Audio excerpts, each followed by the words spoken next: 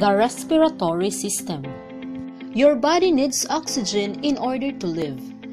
Breathing is a continuous cycle.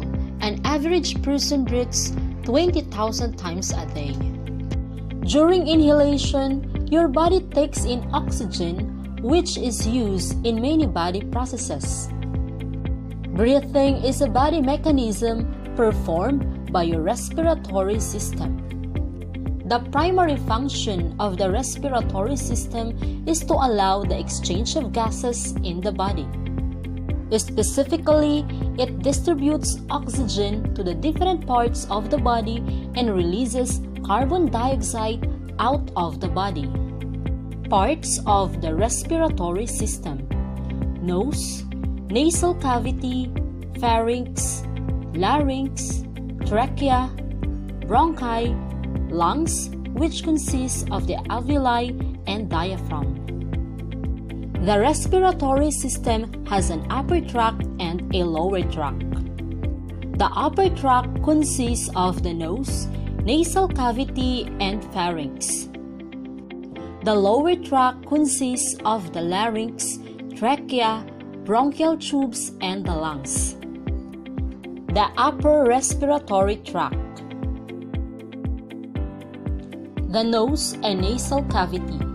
The nose is the outer part of the respiratory system. The nose has two openings called nostrils, separated by a strong and flexible cartilage. Inside the nose is a hollow spaces called cavities. The nasal cavity are lined with mucus and hair-like structure called cilia. The hairs or cilia filter and trap dust and dirt in the air.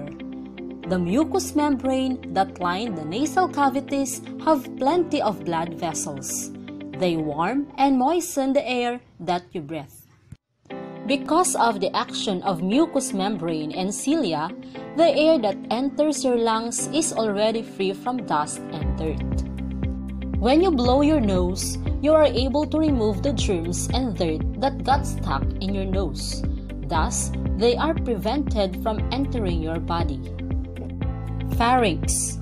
From the nasal cavity, the clean, warm, moist air passes through the pharynx.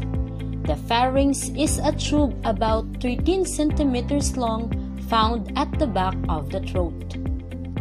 The pharynx separates into two tubes.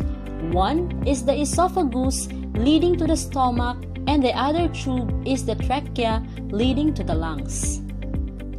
It serves as the passageway for the air and food. The tonsils and the adenoids located on the pharynx trap and destroy the bacteria trapped in the mucous membrane. Your mouth and nasal cavities open and lead into the pharynx. This enables you to breathe even you have a bad cold. The lower respiratory tract. Larynx, located at the lower end of the pharynx and on the top of the trachea, is a box-like structure called the larynx. It is commonly called the voice box. The voice box contains the vocal cords. The air passing over the vocal cords may cause them to vibrate. Thus, sound is produced. The greater the force of the air, the louder the sounds. At the opening of the larynx is a special flap tissue called the epiglottis. It encloses the larynx when you swallow the food and drink. When the epiglottis fails to close when swallowing, then the food enters the larynx. Have you experienced being choked while eating? You choke whenever the epiglottis fails to close the passageway of the air when a food particle accidentally finds its way to the trachea instead of the esophagus. That's why you should not talk and swallow at the same time to avoid choking. The trachea or windpipe. The trachea or windpipe is a stiff tube about 11 centimeters long and 2 centimeters in diameter that leads to the lungs. It is also lined with mucus and cilia that trap the dirt and dust and sweep them away from the lungs by coughing or sneezing. Bronchi, bronchioles, and alveoli. In the chest, the trachea branches into two tubes called the bronchi or bronchial tubes. The bronchi are short tubes that direct air into the right and left lungs. Each bronchial tube branches into smaller tubes called bronchioles. The bronchioles lead into tiny air sacs called the alveoli. Each alveolus is an air sac in the lungs where gases are exchanged. Each alveolus is surrounded by tiny blood vessels called capillaries. The walls of capillaries are thin and moist, allowing easy gas exchange. There are about 600 million air sacs in the lungs. Lungs. Your two lungs, which make up most of the space inside the chest cavity, are the major organs of the respiratory system. The right lung is divided into three parts called lobes. The smaller left lung is divided into only two lobes. Each lung is surrounded by a thin membrane called the pleura.